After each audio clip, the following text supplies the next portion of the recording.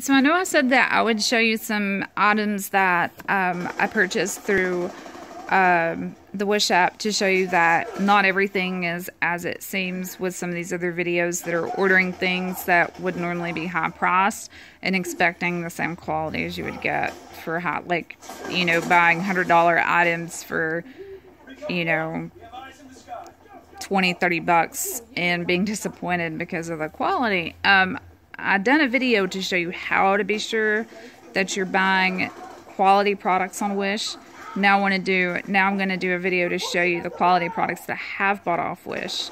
I can't promise you I remember how much I paid for everything, but um I promise you I'll show you. And uh, there are some companies it is legit on there where they have their stuff manufactured over there.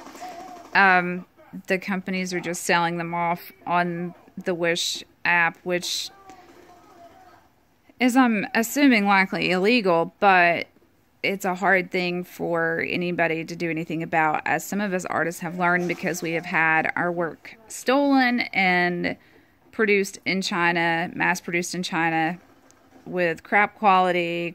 It doesn't look, the, I mean, you can tell it's the same thing, but it doesn't look the same.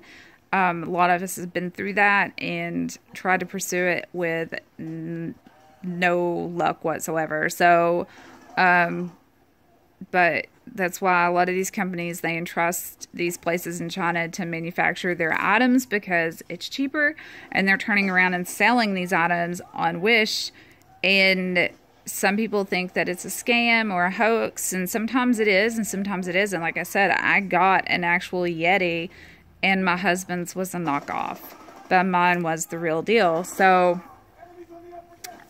definitely, it's not a scam. Some things, yes, but the app itself isn't. There's a ton of sellers on there. There's U.S. sellers on there now. I know Teespring is on there. Um, you just have to really look, and um, I'll try to link my video to how to shop on Wish in the comment sections, and then we'll check it out.